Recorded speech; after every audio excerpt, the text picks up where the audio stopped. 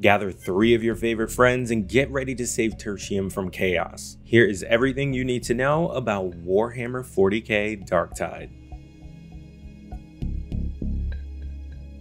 Warhammer 40k Darktide is a first-person co-op shooter with a gameplay similar to that of Warhammer Vermintide 2, developer Fatshark's previous game. You play as one character in a squad of four, working together to survive a grueling campaign full of monsters and villains while completing objectives. However, unlike Vermintide 2, which was almost exclusively melee focused, Darktide features what the developers have called hybrid combat and promises a more even split between ranged and melee attacks. Mixing the two kinds of combat together meant that Fatshark had to think about how to add ranged enemies to scenarios without them feeling tacked on or unbalanced in various encounters. That meant creating a cover system that enemies could adhere to so soldiers aren't just standing around waiting for you to shoot them. Enemy soldiers are also designed to try to group together to create a unified front whereas melee enemies are likely to come from all over the place. That means that soldiers feel like they're fighting you intelligently, while helping prevent the mix of melee and ranged combat from becoming so chaotic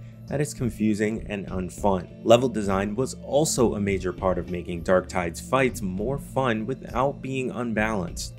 Like in the Vermintide games, Darktide uses an AI director behind the scenes, which dictates where and when enemies show up to fight players, and what types of enemies those forces include. But that means the developers never know exactly what will happen in a given battle. In an interview with GameSpot, Fatshark's head of design, Victor Magnuson, said we just have to make sure that throughout the missions, there are all these possibilities that could happen if the AI director system decides to adhere to it. Aside from a cover system, Darktide's more dynamic combat encounters led to the inclusion of sprinting, vaulting, advanced recoil, suppressive fire, and a regenerating shield called Toughness that will only protect you if you stay close to your teammates. At launch, you'll have your pick of one of four classes. These include the Veteran Sharpshooter, a class that specializes in ranged combat. Sharpshooters start the game with a Kantrael Mark 7 lasgun, as well as a standard issue shovel.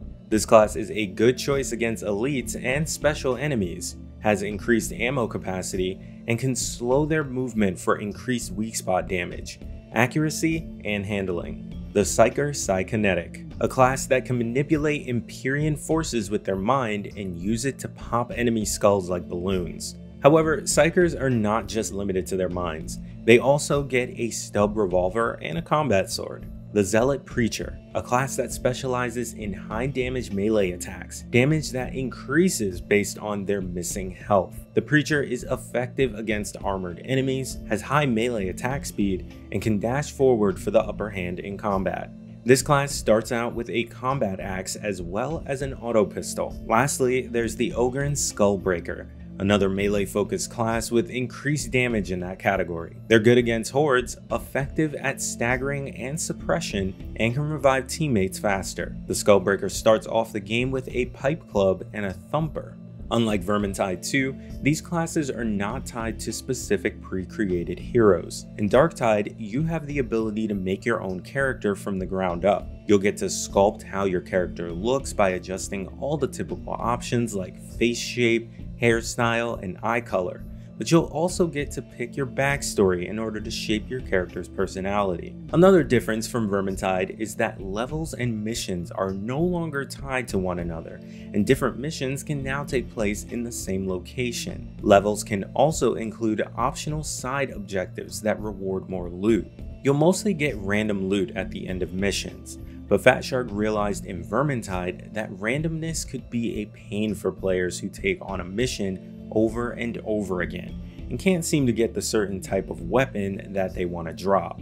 To help combat this, Darktide's hub area, which includes characters to talk to and a station to launch missions from, includes vendors where you can purchase specific types of weapons, just in case that chainsword is refusing to drop at the end of missions. You can also take on long-term contracts to earn yourself better weapons, fulfilling objectives to gather currency that you can then pay towards a piece of gear to eventually unlock it.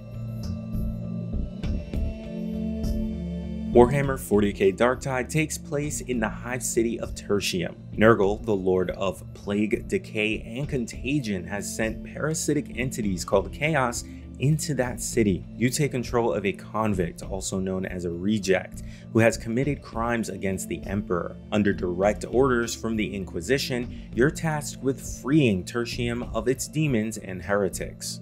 The story was written by Dan Abnett, an author who has written some of the biggest Warhammer 40k and Horus Heresy novels, as well as other universes like Marvel, DC, and Tomb Raider. Dan was also co-writer of 2014's Alien Isolation. According to the developer, Warhammer 40k Darktide will feature an evolving story that it hopes can stay fresh for returning players.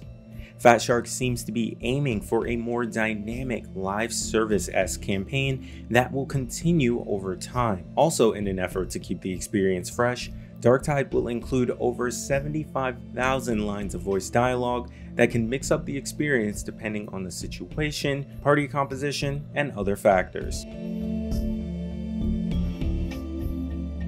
Similar to Warhammer End Times Vermintide and Warhammer Vermintide 2, Darktide is being developed and published by Fatshark. The company is located in Stockholm, Sweden, and has developed its own games as well as acted as a subcontractor for several others.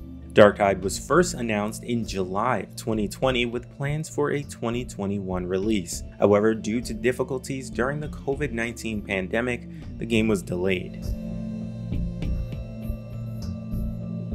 Warhammer 40k Darktide will release on PC via Steam and the Microsoft Store on November 30th, 2022. The Xbox Series X and S version of the game does not have a release date at the time of this recording. However, developer Fatshark stated that the Xbox version will launch shortly after the PC one. For those looking to buy the game on PC, you have two versions to choose from. There's a standard edition listed for $39.99 as well as an Imperial edition listed for $59.99. The Imperial edition comes with a special in-game backpack, a Mortis veteran portrait frame, 2500 Aquilas, the game's in-game currency, and the Loyalist pack that contains 4 unique class outfits, 8 weapon skin patterns, 1 set of headgear, and a Ogryn body tattoo. Pre-ordering any version of the game will get you a special weapon trinket as well as a Vanguard of the Imperium portrait frame. Warhammer 40k Darktide will also be available day one on Xbox Game Pass for PC. For guides, tips, tricks, and the review, make sure to check out GameSpot.com.